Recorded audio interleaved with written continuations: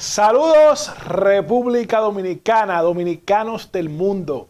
Sean bienvenidos a un episodio más de su programa Voces de la Diáspora. Yo soy Ismael Reyes Penso y me comunico con ustedes a través de Su Mundo TV, canales 101 y 1101 de Claro, 46 Win Telecom 10 Telecable Dominicano 647 en el satélite Eutel a nivel mundial, en sus parábolas, su Amazon Fire Stick, nos puede buscar ahí en ese dial. También, señores, estamos en todas las plataformas digitales, arroba su mundo TV, en nuestra aplicación, arroba su mundo TV y nuestro periódico Su Mundo Digital, donde pues mantenemos a la gente informada las 24 horas del día. Este programa, señores, sabe que lo hacemos desde el corazón de la ciudad de Nueva York, con mucho cariño por y para ustedes. Y bien, ustedes saben que hacemos este programa siempre pues con alegría, con entusiasmo. Y quiero comenzar este segmento, los que son padres que tienen a sus hijos que son adolescentes, acérquenlo a la pantalla y los que nos ven a través de YouTube, compartan este video. Miren, les va a hablar el, el Ismael Reyes Penso, el joven, pues yo tengo 36 años, Y yo creo que soy joven, ¿verdad? Porque tengo 36 años todavía, no, soy cincuentón todavía, ¿verdad? Eh, tengo 36. Y soy, soy, y sobre todo cuando estaba más jovencito, eh, que estaba en la universidad, que estaba ya en cuarto de bachillerato, en la universidad, me gustaba salir, mi trago, eh, a las discotecas, lo que le gusta hacer a todos los jóvenes y a toda la juventud. de hecho, hasta no hace mucho, pues salía más, eh, uno se casa, uno hace su hogar y uno se dedica a su hogar. Porque pela, todo tiene su tiempo y su momento y las etapas se queman. Y ustedes los muchachones que me están viendo, en unos años cuando quemen su etapa, pues eh, estarán así, ¿verdad? Ya como uno más tranquilo. Eh, yo creo que como sociedad dominicana tenemos nosotros que aceptar, porque creo que es irrefutable, que cualquier técnica moderna que estamos utilizando desde hace 15, 20 años, de, que de educación o de pedagogía, no sirve. ¿Por qué? Porque esta generación de jóvenes, ¿verdad? La generación Z, como le llaman, porque yo soy millennial, los millennials nacimos del año 80 al 99. Del 2000 para adelante es la generación Z. Eh, es peor que la de nosotros, es decir, hemos ido, cada generación, y no porque uno sea viejo, ni porque uno crea que su generación es mejor, ha ido para atrás. Es decir, nosotros buscando el ajuste, buscando la modernización, vamos a decir, se han perdido muchas cosas y muchos valores. Y por eso pasan tantas cosas que antes no pasaban. Me explico. Muchos jóvenes en la pandemia se cogieron con la chelcha de amenazar a la policía. Ustedes se acuerdan que eso se volvió un relajo. Amenazaban a la policía, vengan a buscarme, que yo... Cuando la policía lo iba a la casa atrapado una vez llorando y pidiendo excusas. Eso se puso una moda en la pandemia. Tú puedes decir, bueno, que estaban aburridos y tenían con qué entretenerse. Muy bien. Pero ese tipo de payasería han seguido pasando. Un joven llamado Jonevi Sánchez eh, hizo un video que se volvió viral amenazando nada más y nada menos que al presidente Luis Abinader. Caramba, eh, eh, lo que se pone a estar haciendo esas cosas. Ese video se volvió viral y yo desde que vi el video dije, ese lo van a buscar preso en un one, two, three, en menos de lo que canta un gallo. Porque lo suben a las redes y obviamente eh, el DICRIN y la policía con la señal, con la dirección de IP, que la dirección, cada dispositivo tiene una dirección propia te triangulan la señal y te ubican donde tú estás. Pues ese muchacho de una vez lo atraparon y lo bueno, lo llevaron a la policía. Vamos a ver el muchacho cuando lo lleva la policía ahí, cómo entonces se comporta. No, que se me cuide mi cuerpo físicamente y de todo. Que yo le pido disculpas al presidente, a todo el mundo, al pueblo dominicano. ¿Y por qué tú hiciste eso? ¿Por qué tú no, no, no, yo hago videos de vivencia, eso que yo como, manito. Yo hago música. ¿Pero video en contra del presidente? No, en contra del presidente no, si yo lo hice en Chelcha, fue, ¿me entiendes? ¿Y por qué, y por qué, que te, y por qué que te manden a buscar que en los minas, que en la calle 5, qué es eso? No, no, porque eso es controversia. Yo vivo de la controversia, eso que yo le compro la leche a mi niño y de todo eso que yo como, manito. Eso yo lo hice en Chelcha, ¿me entiendes? Yo no sabía que se iba a virar. Será una hermana mayor, ¿verdad? o familiar de él. Mire cómo está esa joven llorando. Ese muchacho no sabe en la magnitud del problema por estar con su tontería. Deme audio, producción. Bueno, eh, ya usted puede ver ahí. Entonces tú dices, mira cómo está esa muchacha llorando porque ese muchacho o es medio loqueteado o tiene problemas. Pero mire la jovencita, la, diferencia, cómo ella llora, la vergüenza, como que, ay Dios mío, ¿en qué Dios se metió este muchacho? ¿Y cómo viene a hacer eso? Ese joven nunca había caído preso. Enredada, obviamente, eso no se cuenta porque las redadas son una chelcha. En los barrios se llevan a todos los muchachos para sacarle su chelito a la familia, para, para ¿verdad?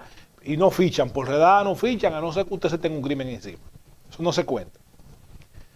Pero este muchacho, que según él dice que él canta y hace arte, en vez de él tratar de hacerse viral con una canción de él, con un bailecito, como hacen algunos de los muchachos que sacan jocosidades, como el caso de Bulín, ¿verdad? Bulín 47, que los siete pollos, bueno, y la gente se ríe y a la gente le gusta, ¿no? Él tiene que hacer una, un episodio lamentable de eso. Y, uno se pregunta, pero, y, joven, pero igual ya es mayor de edad el muchacho, de veinte y pico de años. Y es que, ¿dónde está el, sentido común? Parece que el sentido común estaba de paseo. Pero en los últimos años nosotros, los padres, y hablo ahora como padre, eh, lo hemos cogido suave. Nosotros queremos estar el día entero chateando, queremos estar en, en el celular, en Facebook, en las redes sociales. Queremos todavía está en rumba, chelchando, bebiendo, gozando. ¿Y está mal eso? No, no está mal. Pero usted está cumpliendo la responsabilidad como padre que usted tiene de, educar y de formar y de estar pendiente de sus hijos. Yo recuerdo cuando era niño daba un anuncio a las 10 de la noche eh, y decía, son las 10 de la noche. ¿Sabes dónde están tus hijos? Era un anuncio que tenía la pasta dental colgate, ¿verdad? Valga la publicidad gratuita. Y, ese anuncio era chocante cuando lo daban, porque cuando daban ese anuncio, todo el mundo estaba en su casa ya. Porque había ciertas reglas, cierto orden, cierto régimen. Yo recuerdo cuando me comenzaron a dejar a salir, era como horario cenicienta, ya a las 12 yo tenía que estar en mi casa. Entonces mi mamá me llevaba, me iban a buscar y ya después cuando yo pueda coger taxi, yo salía de donde sea para estar en mi casa antes de las 12, porque si no había problema, no salía más, pero un mes sin salir porque había un régimen de consecuencias. Y siempre los padres vigilando qué es lo que está el muchacho haciendo, con quién es que él se junta. Mm, me preocupa.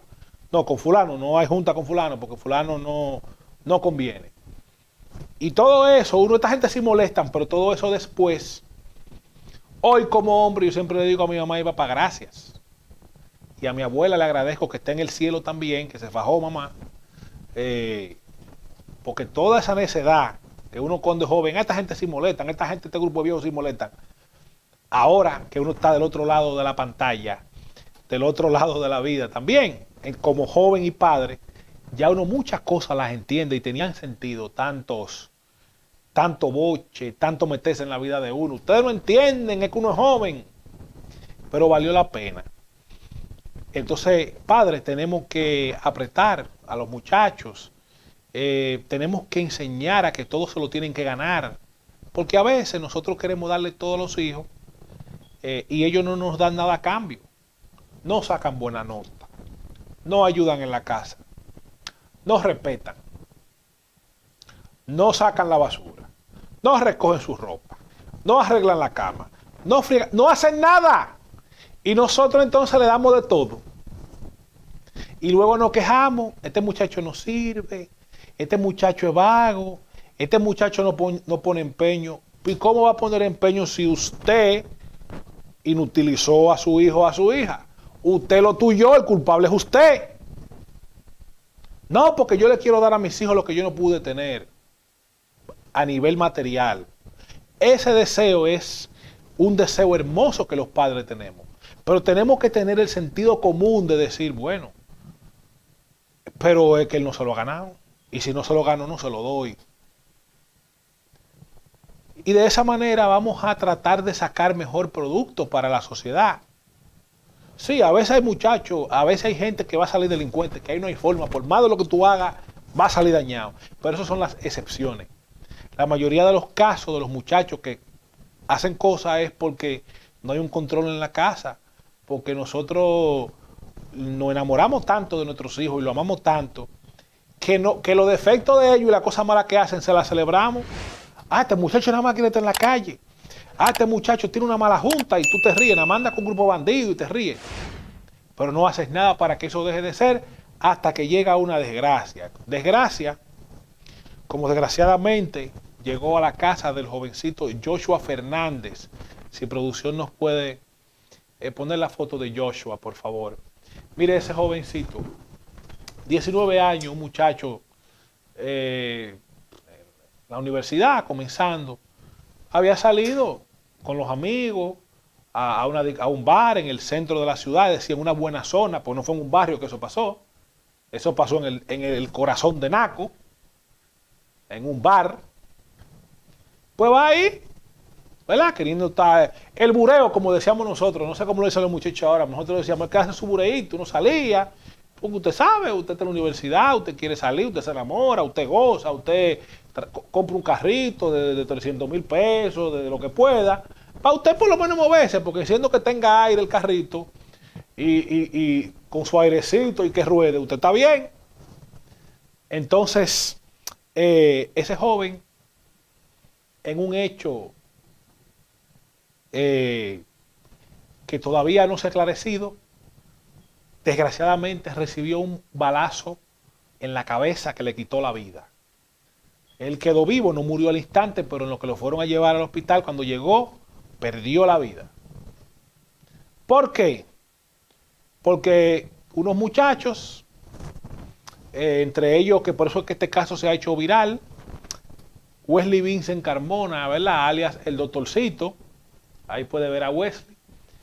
Eh, él es hijo eh, de Vincent Carmona, el doctor Nastra, ¿verdad? uno de los influencers más famosos que el país tiene. Eh, Nastra un muchacho humilde de barrio, de Villajuana, que ha venido muy desde abajo. Yo recuerdo cuando Twitter, eh, comenzamos a Twitter por allá, por los años 2010, como más o menos 2010-2011 Nastra se hizo famoso por los chistes, porque hacía muchos chistes en Twitter, de que él daba una consulta, que por eso que le dicen el doctor. Y entonces todo respondía como con una chelcha y se hizo famoso. Jochi Santo lo llevó a la televisión. Y ese muchacho, por su gracia y por su deseo de salir adelante, gustó. Al ser hijo de Nastra, pues obviamente se hizo viral. Y más que este joven, pues eh, hacía lo que le llaman host, es decir, ya él, estaba haciendo de influencer también en las redes sociales y amenizaba fiestas. La gente iba a fiestas que él anunciaba, que él promocionaba y hacían su show, de su chelcha, de compartir con la gente. Eso se llama host, ¿verdad? Eh, este muchacho, obviamente, malas juntas de la calle que tenía. Todavía no se ha esclarecido bien porque se, todavía el caso está en su posición, por eso yo no me voy a meter a lo profundo de si este joven era parte de ese grupo de atracadores, porque uno de los atracadores dijo que él lo llamaba para coordinar atracos, otro de los atracadores dijo que no, que él no sabía nada, es decir, todavía a la fecha de hoy no se sabe está en investigación. Lo que sí se sabe es que Wesley sabía que con la gente que le andaba eran tigres de la calle. Eso sí se sabe. O sea, lo que sí se sabe es eso. Que él sabía que eran tigres de la calle esos muchachos. y él aún así, no, porque somos del mismo barrio. Andaba con ellos, se juntaba con ellos, compartía con ellos. Entonces, en este caso, lo que sí se ha podido establecer es que Alison de Jesús, si usted no puede poner la foto del alias chiquito, ¿verdad? Eh, este muchacho de Villajuana, jugador de baloncesto, que me dicen que es una superestrella jugando baloncesto, que es muy bueno, alias Chiquito, eh, andaba atracando, en vez de salir a disfrutar o de seguir con su baloncesto jugando, pues salían a atracar. La muerte de Joshua Fernández ocurrió el 16 de abril y no fue hasta hace varios días donde Después de un mes, el periodista que le mandamos un saludo, Ramón Tolentino, coge ese caso para él, habla de ese caso, dale duro en las redes, es que entonces se ha venido a hacer algo. Óigame bien, porque la familia de ese muchacho de Joshua no tenía cómo poner un abogado. Y estaba contando nada más con el Ministerio Público, pero no tenía cómo voy yo poner un abogado y demás. Y luego, pues, el caso se volvió famoso, se hizo viral. Porque la, madre de ese muchacho, y yo no, no, no vamos a poner algunos videos por un tema de copyright y eso, eso es desgarrador. Una madre que le, le asesinan a su hijo. Su hijo de 19 años, un muchacho que era la esperanza de esa casa, que, que los papás haciendo un sacrificio, la familia, para hacerlo profesional, porque era la esperanza de la casa de ese muchacho. Pierde la vida de esa manera. Porque un grupo de muchachos eh, que no tenían la necesidad, porque porque usted sea de barrio, usted no tiene que ser ladrón. Porque la mayoría de la gente de Villajuana, usted quiere un barrio que haya gente más trabajadora que en Villajuana, que en San Carlos, que en el mismo Capotillo. Que la gente es trabajadora. Fíjese que los capotilleros, la gente, la gente de Villa Francisca, de todos los barrios, y si nos vamos para el Cibao, todos esos barrios del Cibao, en Santiago, la gente del del urbano Gilbert, eh, si usted coge Palete, en San Pedro, la, gente de Barrio Azul, óigame, todos los barrios del país.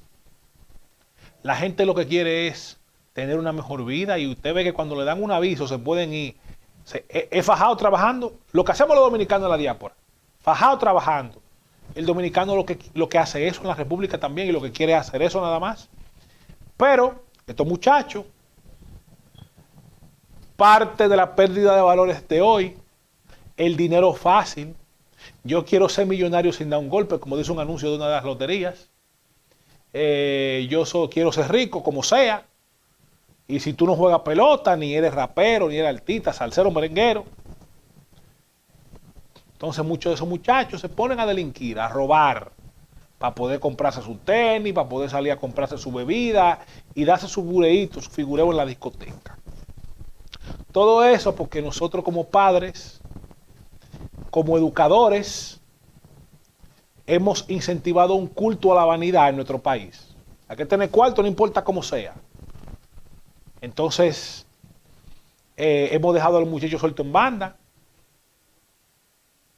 uno sabe que la vida cada día es más difícil y más cara, que hay que trabajar mucho, sí. Pero como yo le decía a un amigo en estos días, a veces ni todos los cuartos que tú tienes te dan para salvarle la vida a un hijo tuyo cuando se, o para salvarle la libertad y sacarle de la cárcel a un hijo tuyo cuando fracasa por tú no tener tiempo de haber estado ahí, de haber estado pendiente. Entonces tenemos que hacer un balance y un mensaje que, un llamado que le hago a los padres que, están viendo este programa. Si usted tiene que ganar un chinchín menos, un chinchín menos, no es que tanto menos, un chinchín menos de dinero. Y quizá va a estar un poquito más apretado, pero usted va a poder tener un ojo más pendiente de sus hijos. Hágalo. Que todo es temporal. Después que los muchachos crecen, olvídese. Cuando tienen la formación que uno tiene que darle cuando están pequeños y que muchas veces uno no le dedica tiempo por el trabajo, por todos los temas que uno tiene, Ahí entonces es donde fallan. Entonces después tú tienes cuarto, tú eres rico, tú tienes dinero, tú tienes un nombre que, lo hiciste luchando desde abajo, pero entonces vienen tus hijos a cometer hechos, a cometer delitos y a dañar todos esos años que tú construiste de trayectoria. Y después tú dices, wow, ¿valió la pena? Y esa es la gran pregunta. Aquí hay una familia, la de Joshua Fernández, que perdió a un joven estudiante de 19 años con un futuro prometedor. Eh, y la familia de los otros jóvenes, ellos están vivos, están en la cárcel, ¿verdad? Porque el caso de, Wesley le han cantado un año de prisión preventiva junto a Chiquito también. Y, esas, y los padres de esos muchachos, ¿cómo ustedes creen que están también? Entonces, vamos a hacer más, vamos a cuidar a nuestros jóvenes, vamos a educar mejor a nuestros hijos, vamos a estar más vigilantes. Y vamos nosotros, señores, a promover los buenos valores.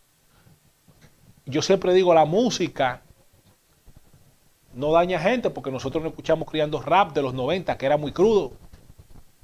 Pero teníamos unos papás que eran macanas. ¿Eh? Eh, ¿Y ese muñequito? ¿De quién es? No, que fulano lo trajo, que se le quedó. Llamaban a la casa del amiguito, mire, a su hijo se le quedó un muñeco aquí. Sí, ah, ok. Eh, vamos a llevárselo ahora mismo. Era así. ¿De quién es eso? Eso es suyo. Eh. Y ahora todo una celebración. Entonces, vamos a coger las cosas buenas que funcionaron. Podemos seguir modernos, pero vamos a coger las cosas del pasado que funcionaron y vamos a traerla ahora otra vez para que nuestros hijos sean mejores, porque al final todos nos quejamos de papi si molesta, papi si es broma, papi si averigua, mami si averigua, mami si se mete. Pero cuando luego crecemos, que somos padres o que, somos, o que son madres, ¿verdad? Decimos gracias, porque si tú no hubieses sido necio, yo no fuera quien yo soy hoy.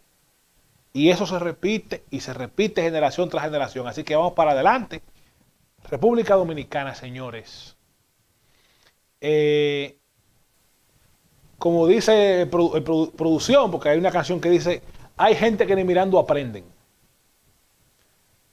Venimos ya hace tres años del 2020 que el país se volcó para votar en contra de Danilo Medina y su clan del PLD. Para sacarlo de ahí por toda la charlatanería y toda la cosa que estaban haciendo.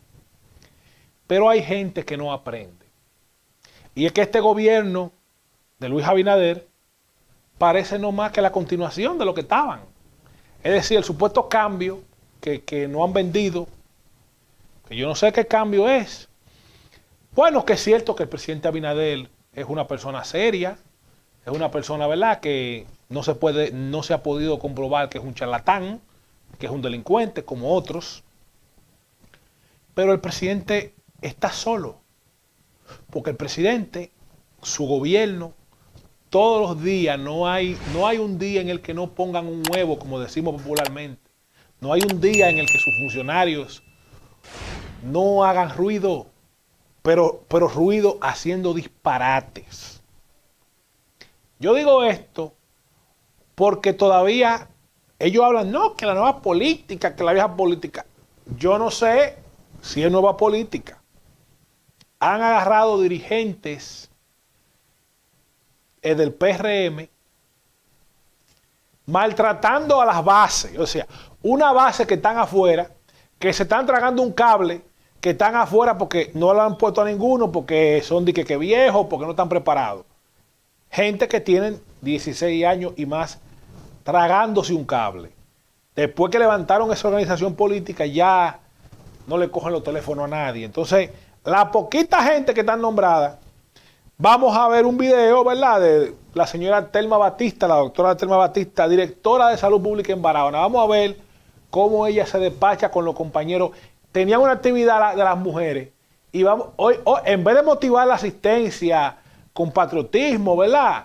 Eh, eh, eh, vamos a apoyar nuestra organización, nuestro partido, que está haciendo la cosa bien. Oigan cómo es que ella quiere que apoyen esa actividad que realmente se le mandó hacer una invitación para, para mañana y ninguna ha aceptado a ir a la capital a la actividad de las mujeres. Todas saben a qué atenerse. Ustedes saben bien que yo tengo los juegos pesados, ustedes lo saben bastante bien. Y esa es una invitación obligatoria. Yo mandé a Lucy y a Oris a hacer la invitación y nadie ha dicho yo voy, yo voy para la actividad. Entonces, mire, todas, todas, ustedes sencillamente, yo voy a hacer un listado de la gente que trabaja aquí y que no tienen interés de ir a la marcha. Y lo voy a mandar para el partido, definitivamente. Incluso, como estamos ahora en la disposición de que cualquier actividad y cualquier cosa que ocurra, se va a proceder a cancelar a las personas y se lo digo honestamente, me siento muy mal, porque ustedes hoy tienen un empleo por el PRM. ¿Ok? Entonces miren a ver lo que van a hacer. Va a estar un, vehículo ahí en la plazoleta a las 5 de la mañana. Así que miren a ver lo que van a hacer. Y por, e, y por este medio van a poner ahí las personas que van, porque necesito tener evidencia Entonces ya se terminó la situación. Yo voy a mandar un listado porque hay bastante PRMistas que quieren un trabajo. Y ustedes que lo tienen no quieren ni siquiera ser obedientes a, las situaciones del partido. Así que miren a ver, miren a ver, mira, yo... Ya ustedes vieron, ser obedientes. Y ella misma lo dice. Muchos no tienen trabajo y quieren, y ustedes, ¿verdad? Lo poquito que tienen, no quieren ser obedientes, óiganme bien. Óiganme el engreimiento, la prepotencia. Señores, parece que seguimos todavía, o sea, no han, aprendido. En vez de motivar a los compañeros, miren, ya estamos en política, estamos en campaña, tenemos que apoyar a nuestro gobierno. Por eso cuando yo veo algunas encuestas, yo me exploto la risa. Porque hay que amenazarlos para que vayan a las actividades. Entonces llenan un coliseo, llenan un estadio, el presidente Abinader está número uno. Cuando, cuando ustedes escucharon la motivación, la arenga los compañeros, todo lo que da es risa. Todo lo que da es risa. Eh, y audio de eso tenemos de todo tipo de audios. Lo más reciente que podemos ver es el caso eh, de Seara Hatton, el ministro de Turismo, ¿verdad? Que, ha sucedido eh, a nuestro querido he ido asesinado, ¿verdad? He ido a destiempo Orlando Jorge Mera. El show que hay ahora en medio ambiente, porque Sarah Hatton dijo eh, que mucha gente cobra ahí sin trabajar, lo cual está mal. En ese sentido, Sarah Hatton tiene razón. Pero ha dicho que tenía una nómina paralela, mil cosas. Y ha, ha salido Guillermo Gómez, el periodista Guillermo Gómez, diciendo que esos son gente del PRM, que como no lo pueden nombrar, tuvieron que buscar una forma, ¿verdad? Para poder ayudarlos.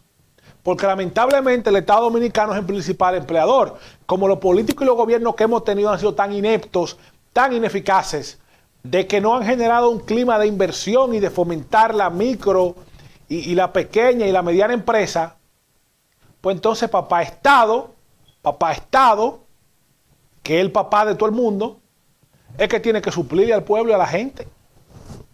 Porque como no somos autosostenibles, a nivel, ¿verdad? De lo que le llamamos la empresa privada, pero eso no es culpa de las bases ni del PRM, ni de la base del PLD, ni de la base, ni de la gente de humilde. Eso es culpa de los gobernantes, de los de arriba. ¿Verdad? Que hoy ese caso no sea así en República Dominicana. Y lamentablemente, tú el que en política y sobre todo los compañeritos quieren que lo pongan, que, que le ayuden con un hijo, con un empleo porque el problema es que tampoco hay empleo en República Dominicana. El desempleo tiene, desde el año 99 tenemos la tasa del desempleo de un 14% y no la ha bajado nadie. No, eso no baja de ahí la tasa de desempleo. No ha bajado de ahí, no hay forma. Pero todo está bien, todo está nice. Tenemos el mejor gobierno de la historia. Cada cuatro años escuchamos decir eso mismo. Y no se ha resuelto ni un solo problema, ni uno se ha resuelto. Porque se sigue yendo la luz, se ha dejado de ir la luz. Sigue la ola de inseguridad, los atracos y la violencia. En el año 2001 se comenzaron a robar celulares, no se ha dejado de robar celulares. En el año 2006 asesinó a una joven llamada Vanessa en Santiago, Vanessa Ramírez Faña, si no me equivoco. Año 2006, hoy que estamos en el 23, ¿Cuántas jovencitas y cuántos jovencitos no son asesinados por lo mismo? ¿No ha cambiado? La inflación, la escasez de los productos, la carestía, cuando acaparan los productos y lo esconden para subirlo de precio. señores, vivimos viviendo en los mismos males de hace 50 años y, de la misma manera. Y no aprendemos. Y como sociedad no tenemos una conciencia de decir, pero que ya está bueno, porque nos dan galletas de todas las formas y seguimos cogiendo galletas. Señores, y esa es la realidad. Pero siguiendo otra vez con, con esta gente que nos gobiernan, tienen la cachaza, la caradura, el tupé ¿verdad? Paga un espacio pagado, que no sé cuántos millones costó, en diferentes periódicos de República Dominicana.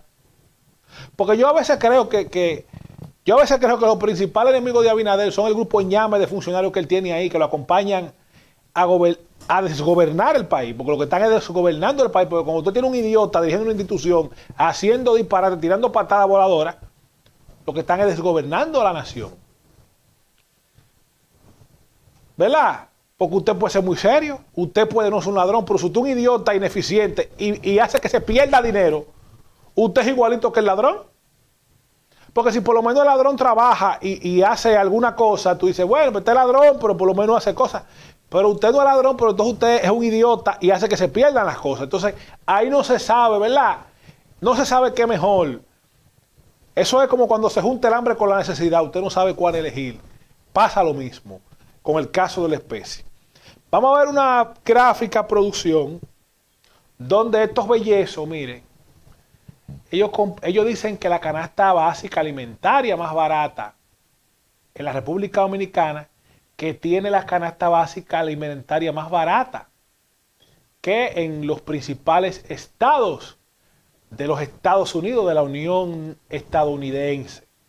Él te pone un gráfico ahí diciéndote que en República Dominicana la canasta básica, eh, ¿cómo anda, verdad? 66 con 24. Eh, los precios, ¿no? En general. Y te ponen que, por ejemplo, en Nueva York los precios andan eh, por 103 dólares, ¿verdad? Por persona. Y todo eso, muy chulo. La Florida, 112, muy chulo. Pero, y es que ellos se olvidan que el salario promedio en República Dominicana son 210 dólares al mes. La mayoría de los dominicanos ganan 200 dólares mensuales. La mayoría de los dominicanos. ¿Usted sabe cuál es el sueldo promedio en los Estados Unidos?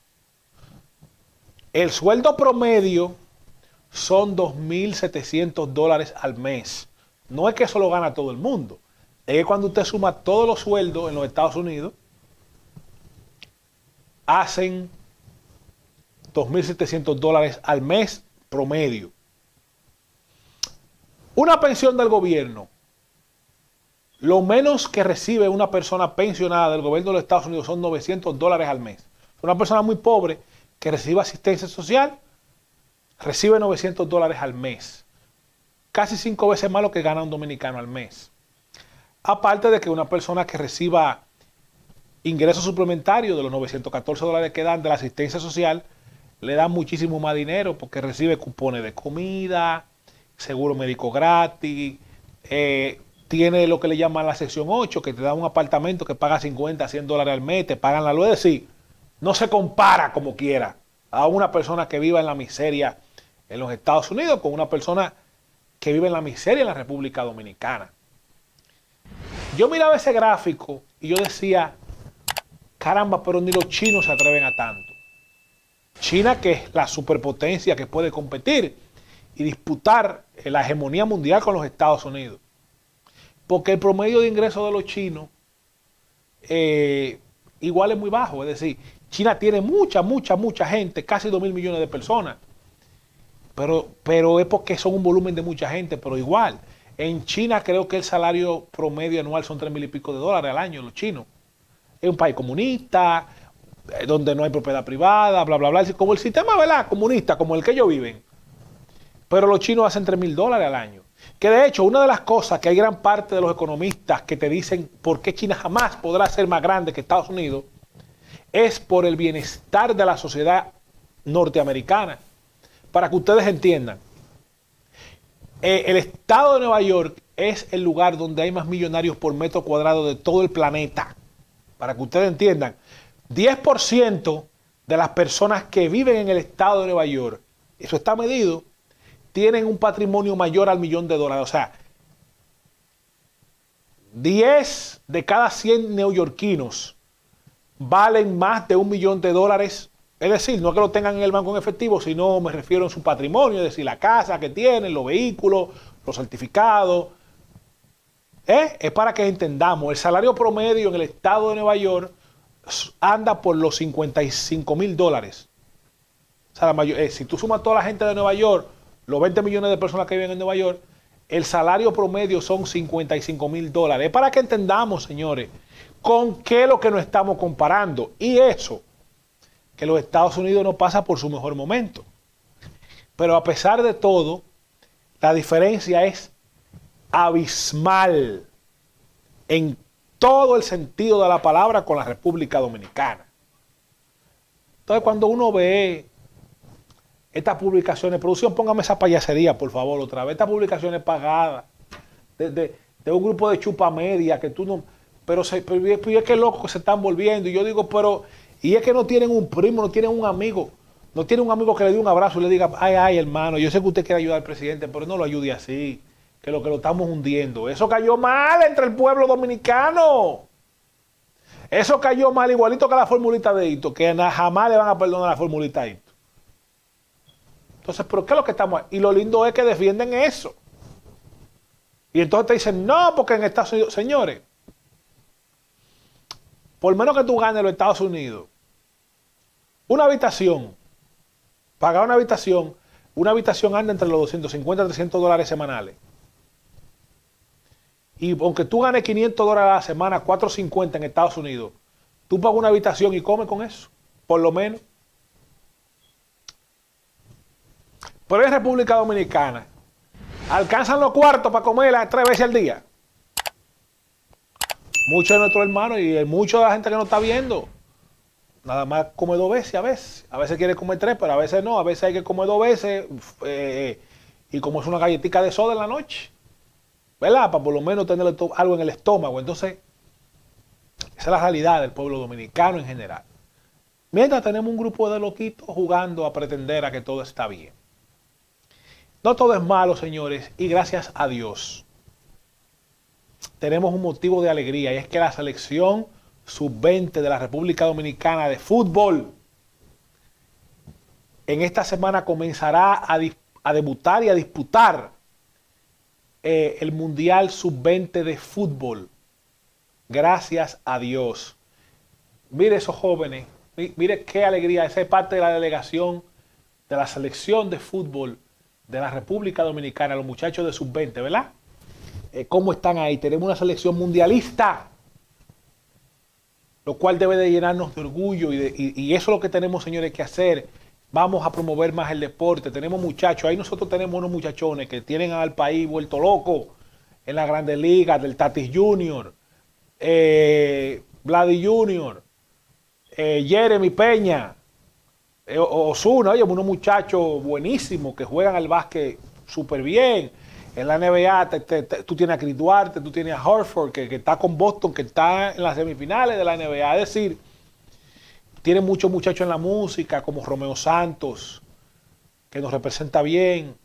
Tú tienes muchachos en la música eh, que están pegados, como Rochi, los muchachos, ¿verdad? Que hacen dembow, el bullying, los muchachos que hacen dembow también, que están pegados. Óyeme. Y son motivos de alegría. El Alfa, ¿verdad? Que, es la superestrella de la música urbana en Dominicana. Óyeme. Entonces, vamos a empujar porque tenemos demasiado talento y no podemos dejar que por nosotros no hacer lo que tenemos que hacer, el país se nos termine de perder y de salir de las manos. Los jóvenes no solamente son el presente, no, no, no. Los jóvenes no son el futuro, no, no, no, no, no. Los jóvenes son el presente y el futuro juntos. Así que felicitamos a la juventud de la selección de fútbol. Ya ustedes son campeones y ganadores por, por ser mundialistas. Ya eso es motivo de logro, de éxito y de sentirse campeones. Ojalá que puedan traer un trofeito, ¿verdad? Porque nunca está mal traer una medallita para el país. ya en este último segmento, para terminar, vamos a hablar un poquito de la situación de los Estados Unidos. Estados Unidos, señores, aparte de la gran crisis económica que sacude eh, a esta gran nación, vive momentos difíciles con el tema migratorio. Nosotros entendemos que todas las personas que migran de sus países para esta nación tan grande, tan acogedora, es para buscar un bienestar, para buscar un mejor futuro. En eso estamos conscientes. Ahora, el tema es cómo se hacen las cosas o cómo se están haciendo las cosas. Porque mientras a un ciudadano cualquiera o a una persona cualquiera quiere pedir un familiar, le exigen mil cosas, tiene que gastar 4 o 5 mil dólares para traerte un familiar y tiene que hacerte garante. Eh, hay un descontrol total. Ya hemos visto y hemos dicho en programas anteriores cómo el alcalde de Nueva York, Eric Adams, ha dicho que no se puede, que la de Nueva York no tiene plata para recibir más gente. Ya hemos visto cómo en Chicago también eh, ya hay ciudades de Chicago que los ciudadanos han dicho que no, es decir, que no se puede, porque que ya no pueden. Eh, eh, los, albergues están al colapsar. Y ahora entonces, pues, hay muchos indigentes en las calles, porque obviamente si usted no tiene donde dormir, pues se puede coger un parque, hace una casa de campaña. Y las ciudades de la frontera ni se digan. Yo quiero poner un video de del Paso, Texas, ¿verdad? El Paso es una ciudad que hace frontera con México. Vamos a ver producción, cómo está la ciudad del Paso, que ha colapsado. El alcalde del Paso eh, ya no sabe qué hacer y nadie sabe qué hacer en el Paso, Texas. Y vamos a ver este video, producción.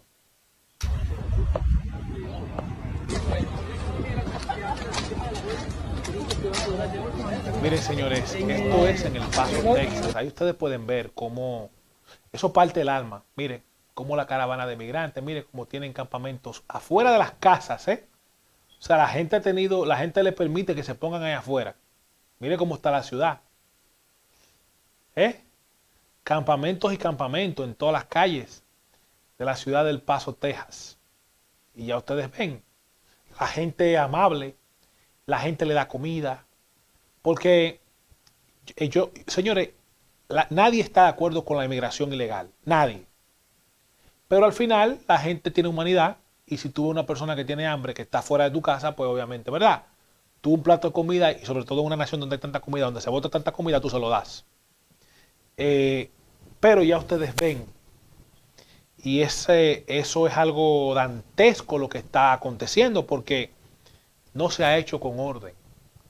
Se ha dejado que hagan caravana por lo menos antes existía eh, el capítulo 22, que era la política mantenerse en México, pero pues obviamente a la actual administración del gobierno de los Estados Unidos ha decidido que no, que eso no sea así, que vengan para acá. Y el problema es que no hay cama para tanta gente. Esto está haciendo que las ciudades fronterizas y que grandes ciudades con mucho dinero como Los Ángeles, Nueva York, San Francisco, Chicago, Filadelfia, estén colapsando porque ya no dan abasto. Y las ciudades ya no tienen recursos. Porque son gente que acaban de llegar, hay que darle comida, hay que darle albergue, en lo que a ellos le llega su permiso de trabajo, que se está tomando mucho tiempo porque son tantos casos de asilo, son tantos casos de refugiados, que obviamente no hay un personal humano eh, no hay personal humano para, tanta gente, porque a una persona hay que depurarla antes de tú darle un permiso de trabajo y de darle un número de inmigrantes. Es decir, eso, porque, porque si no, si no esto se llenara de, los países se llenaran de, de delincuentes y de lo que sea. Y esa es la realidad. Y esto en consecuencia trae reacciones como ha pasado en la Florida. Nosotros hemos ah, dicho siempre que admiramos al gobernador Ron DeSantis que ha hecho un gran trabajo en la Florida, pero de Santis se dejó llevar de la emoción y de la impotencia de ver ese caos. Y pues en la Florida se pasó una ley donde se prohíbe darle trabajo a los inmigrantes ilegales. ¿Y qué ha pasado? La Florida está paralizada. ¿Por qué? Porque quienes trabajan en los cultivos que son inmigrantes ilegales, quienes trabajan en la construcción que son inmigrantes ilegales. Entonces la Florida tiene una semana parada por completo o casi por completo. Eh, eh, pueblo fantasma prácticamente. Yo tengo unos amigos en Ocala y pues me mandaron una foto y unos videos que por, por tema de tiempo no pudimos compartir en el programa de hoy, pero que se lo vamos a poner en el próximo programa. Y parece una ciudad fantasma. Porque una respuesta extrema trae otra igual de extrema o más extrema. Eh, y vamos a ver esta foto de, o sea, para que, para que tengamos en cuenta qué es lo que se... Miren, mire, mire cómo, cómo, esa caravana humana viene para los Estados Unidos. O sea, eso, eso es insostenible. Y eso, que hay unos videos en los montes lleno de gente cruzando de una manera eh, compulsiva y masiva. Entonces, todas las cosas hay que hacer con orden. Eh, yo, esto es una nación de inmigrantes, donde los inmigrantes son el brazo y el pulmón de los Estados Unidos, porque no más del 90% trabajan y vienen para acá a aportar y buscar un mejor futuro, pero las cosas no se hacen, todo es con orden, todo es con un plan de ir integrando. Necesitamos tanto más agricultores, lo vamos integrando de manera paulatinamente, pero no, no esa estampida que, está pasando. Entonces, eh, esas son de las cosas que nosotros nos preocupan, porque cada día se van polarizando, se van caldeando más los ánimos, se van polarizando las posturas y sobre todo, estamos en una crisis económica y cuando ustedes dicen que le van a subir los impuestos porque hay que tener más inmigrantes, hay que tener más dinero para meter más gente, usted dice, pero, pero ¿cómo es posible? O sea, usted me está explotando mi, patrimonio para eso. Y nadie se opone. Yo no creo que nadie se oponga a que venga gente a aportar al país. No, para nada. Es que las cosas se hagan bien hechas y con orden, que es lo que todo el mundo pide. Pero lo que desgraciadamente esta administración del presidente Biden no está en hacer eso. Eh, nada, nosotros pues eh, seguiremos abogando por eso. Felicitamos al alcalde de Nueva York, Eric Adams, que hace cuando llegó decía, no, que todo va a ser una ciudad santuario, que siempre va a recibir gente. Pero en la realidad las cosas no funcionan así. Tú no puedes quitarle la calidad de vida a los ciudadanos de una ciudad que pagan impuestos, que son de esa ciudad, que viven en esa ciudad, que aportan en esa ciudad, para atraer más gente. Y eso si vas a traer más gente, hazlo de una manera controlada, que no altere el orden, que no altere el presupuesto de la ciudad o que no altere el bienestar de la gente que lleva años ahí trabajando, ¿verdad? Y esa es la única cosa que nosotros eh, vamos a pedir y pedimos. Y nada, señores, agradecer a ustedes por acompañarnos una semana más en su programa Voces de la Diáspora aquí a través de Su Mundo TV. Yo soy Ismael Reyes Penso y no se olviden de encontrar aquello que ustedes aman. Hasta la próxima.